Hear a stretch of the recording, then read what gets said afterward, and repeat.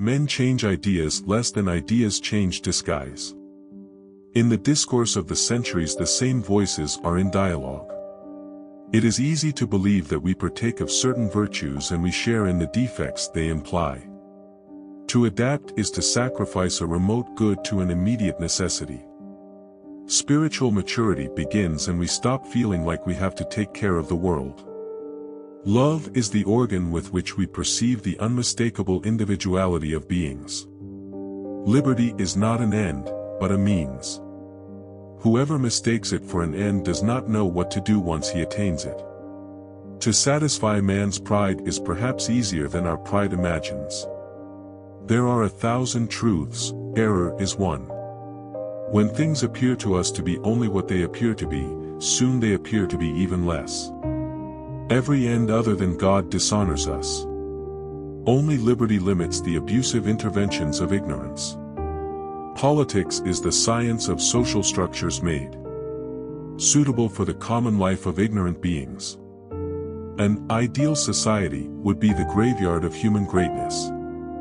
After every revolution the revolutionary teaches that the true revolution will be tomorrow's revolution. The revolutionary explains that a despicable Villain betrayed yesterday's revolution. Democratic parliaments are not forums where debates take place, but rather where popular absolutism registers its decrees. The bourgeois gives up his power in order to save his money, then he gives up his money in order to save his skin, and finally they hang him. The bourgeoisie is any group of individuals dissatisfied with what they have and satisfied with what they are. Marxists define the bourgeoisie in economic terms in order to hide from us the fact that they belong to it. The militant communist before his victory deserves the greatest respect. Afterwards, he is nothing more than an overworked bourgeois. Love of the people is the aristocrat's vocation. The Democrat does not love the people except during election season. By the same measure that the state grows, the individual shrinks. Unable to achieve what it desires, progress christens what it achieves desire.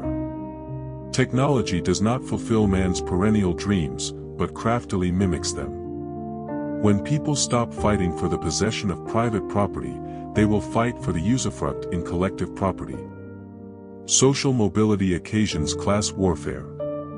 The enemy of the upper classes is not the inferior man who lacks every chance to rise, but rather the man who does not manage to rise when others rise. A certain disdainful way of speaking about the people reveals the plebeian in disguise. Man believes that his impotence is the measure of things. The authenticity of the sentiment depends on the clarity of the idea. The mob admires the confused more than the complex. Thinking is often reduced to inventing reasons to doubt the obvious. To refuse to wonder is the mark of the beast. The man who renounces appears impotent to a man incapable of renouncing.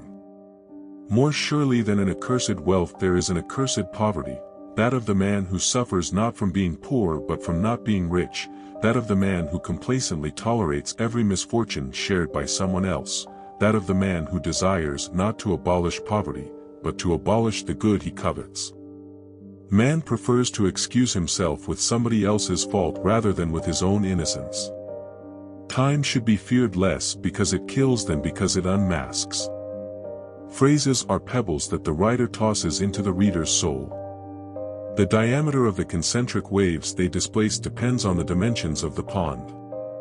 Genius is the capacity to make on our stiff, frozen imagination the impact that any book makes on a child's imagination.